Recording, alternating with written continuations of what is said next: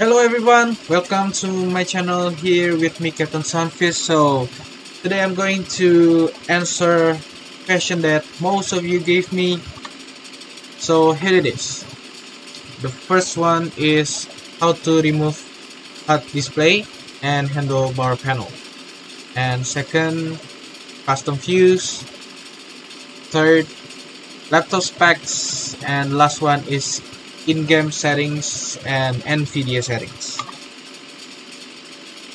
So, most of you are still confused about how to remove this HUD panel on the cockpit or outside the co cockpit.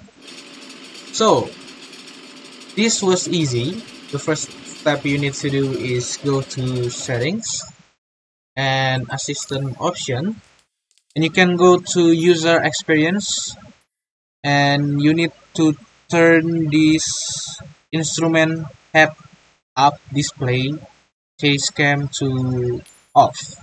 And then instrument heads up display cockpit cam turn it to off also.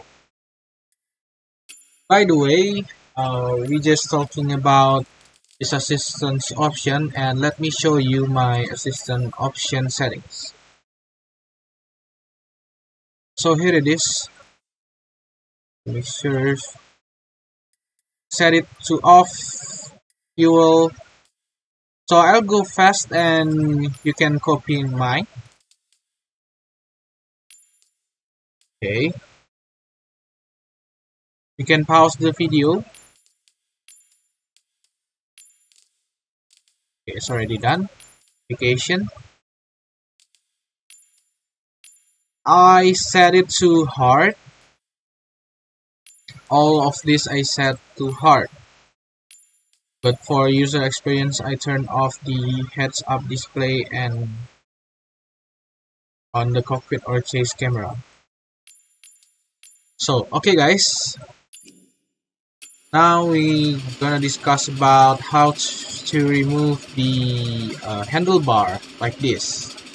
And the first thing you need to do is uh, go to the website called flightsim.to so I'll uh, give the link on the description of this video. And you uh, the first thing you need to do is just download the uh, folder inside and move it to community file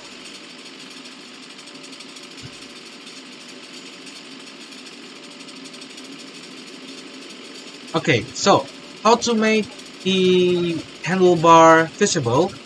You just move your uh, mouse cursor to the top of your screen and it will automatically appear.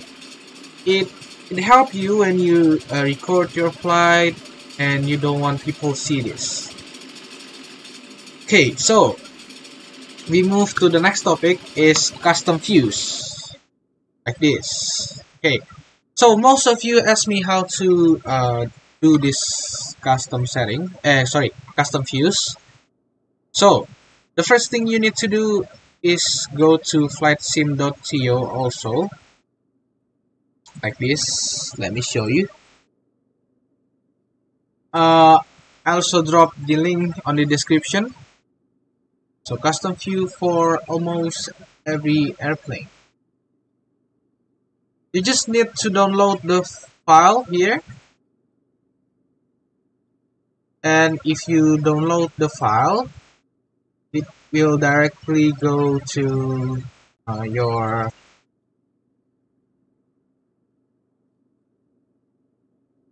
file explorer.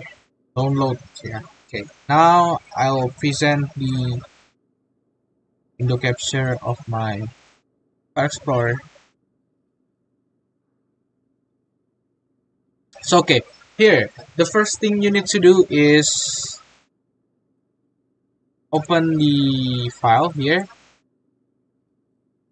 Okay.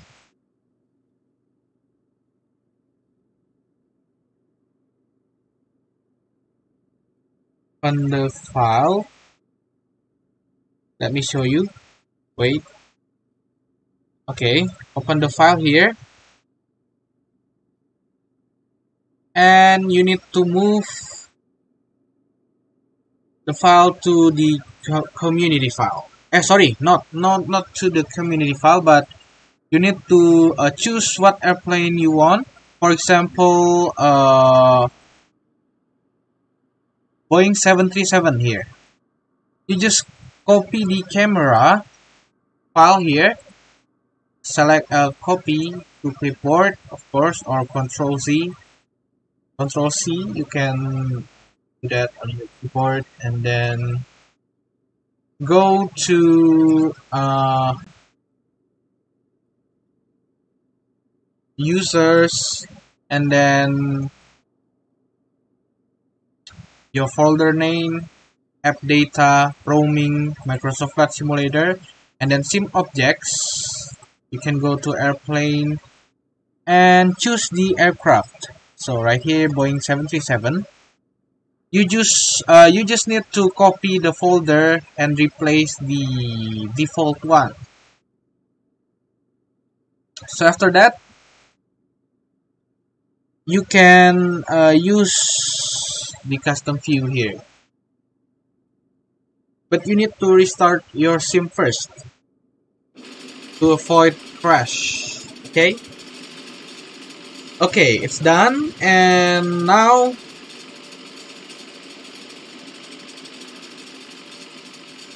oh yeah I forgot guys that uh, for Fenix it does not include on that file. So for Fenix I use this uh, add-ons. So I'll I'll drop it also on the description. Okay now let we discuss about my sim settings.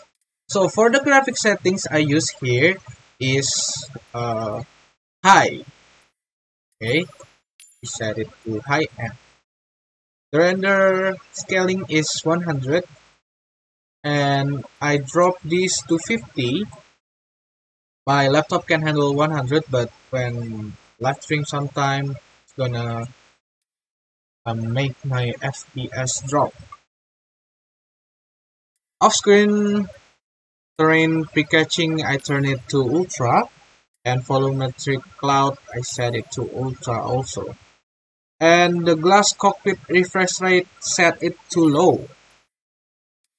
Lens flare to off lens correction to off also motion blur to off and then depth of field set it to off bloom off also. So here my settings. Apply and save it.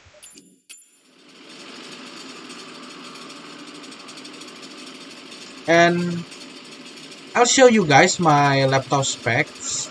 So my laptop specs is RTX 3060 uh, 6 gigabyte VRAM laptop GPU and my CPU is Ryzen 7 Gen 5 at 100H mobile chipset.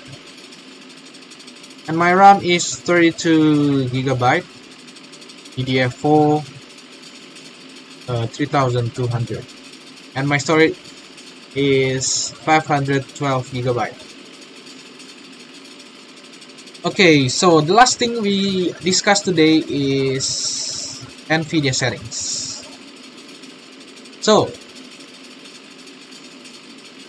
these settings was recommended by Microsoft Flight Simulator forum that I found. So let me share it to you